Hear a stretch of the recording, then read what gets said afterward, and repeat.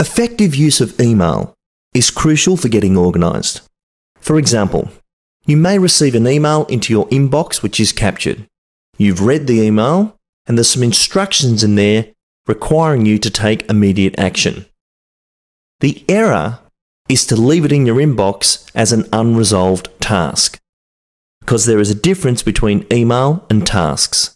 What we suggest is you click on the email, drag it to the taskbar, which will immediately populate all the contents of the email into a task. So we've gone from information to a task.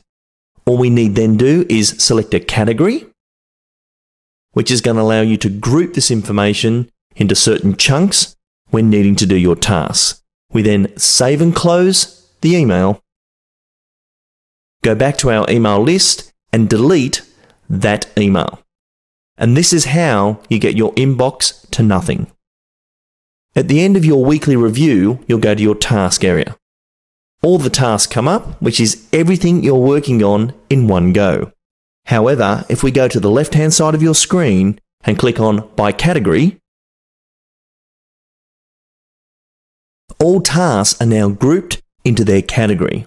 So if you are working on delivery of service or a certain project with a team member, you can simply look at all the tasks pertaining to that chunk and have that meeting.